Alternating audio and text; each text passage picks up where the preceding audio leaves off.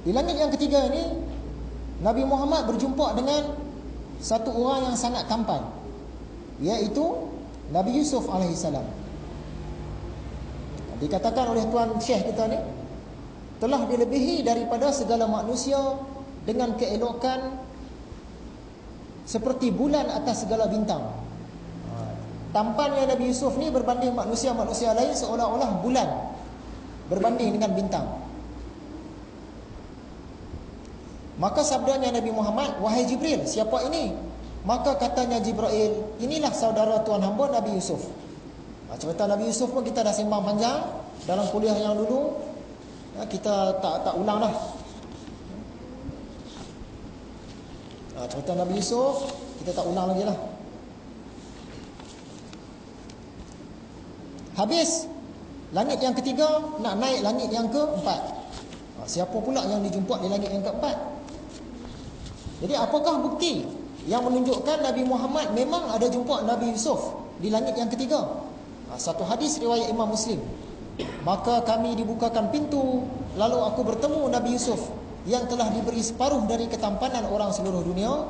Maka Yusuf menyambutku dan mendoakan kebaikan untukku.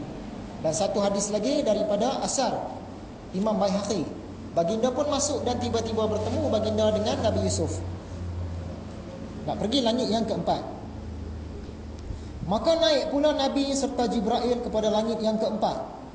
Telah terdahulu ia daripada tembaga. Ha, kononnya langit keempat ni diperbuat daripada tembaga. Cerita ni kita simpan, tak tahu sandaran. Menuntut buka Jibril. Ha, Jibril suruh buka, soal jawab mana? Maka dikatanya seperti dahulu jua. Maka dibukanya, maka masuk keduanya. Maka tiba-tiba didapatinya Nabi Idris.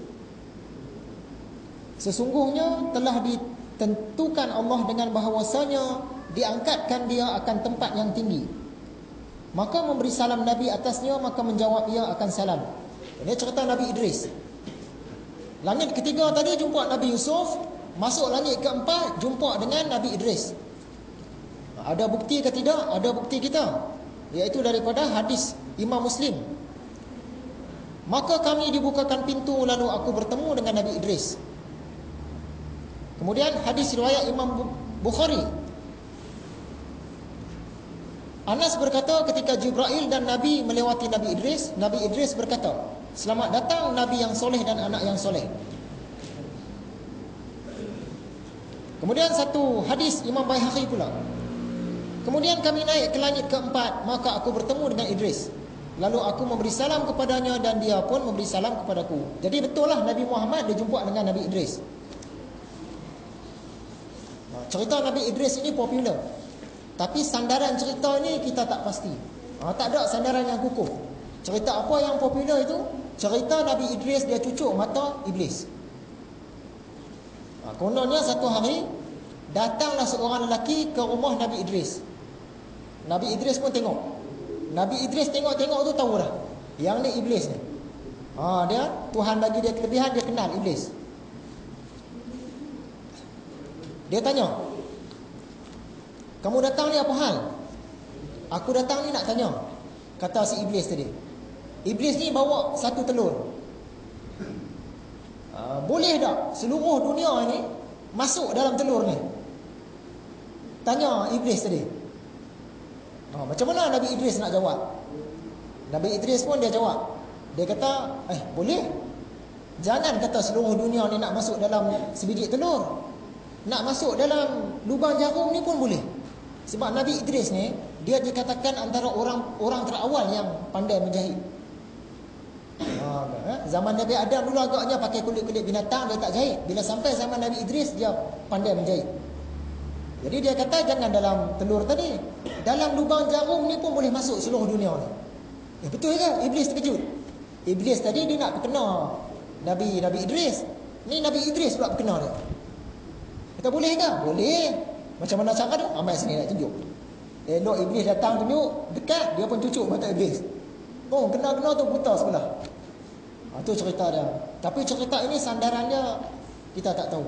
Ha, tu cerita yang popular tentang Nabi Idris. Ha, kalau betul cerita itu maksud dia sampai sekarang ni iblis tu mata dia buta lah sebelah.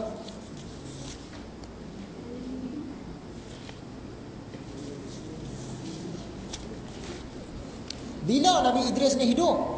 Ha, kebanyakan ulama bersetuju. Nabi Idris ini dia hidup sebelum zaman Nabi Nuh, sebelum zaman banjir besar. Mula-mula Nabi Adam, Nabi Adam pun lahirlah keturunan dia. Dalam ramai-ramai anak Nabi Adam ni ada satu orang jadi nabi nama dia Nabi Syith. Ha, nabi Syith, Nabi Syith ya. Kalau orang Kristian dia sebut Seth. Macam mana boleh dapat Nabi Syith?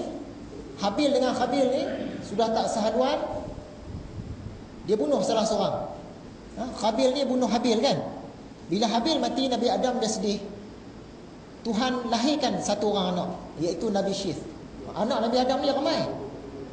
Ada ramai tapi salah seorang tu lahir Nabi Syith.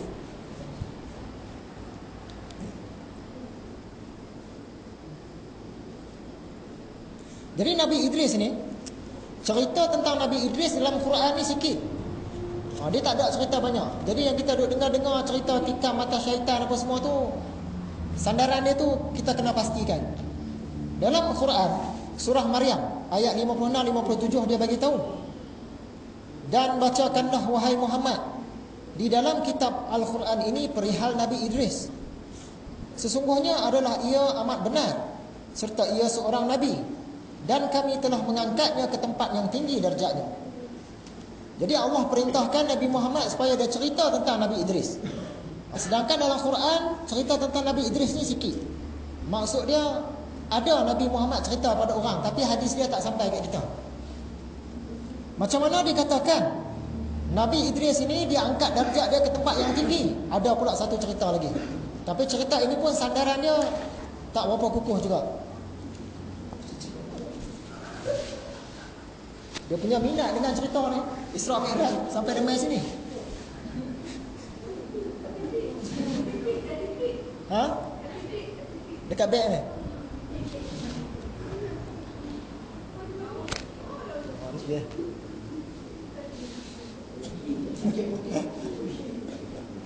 Tak tahulah hari ni cicak cukup minat kuliah kita. Dia sambung cerita Nabi Idris. Satu hari malaikat maut datang. Ha, Nabi Idris dia kenal dah. Dia tanya kamu datang ni kenapa nak ambil nyawa aku ke? Tak. Aku datang ni berkunjung saja sebab malaikat maut dia suka dengan Nabi Idris. Nabi Idris pun buat permintaan. Uh, memandangkan kamu dah datang ni boleh tak bawa aku naik ke langit?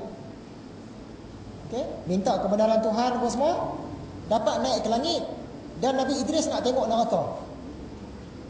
Malaikat maut pun bawa pergi tengok neraka. Tengok-tengok neraka tu dia pengsan sebab dahsyatnya azab neraka.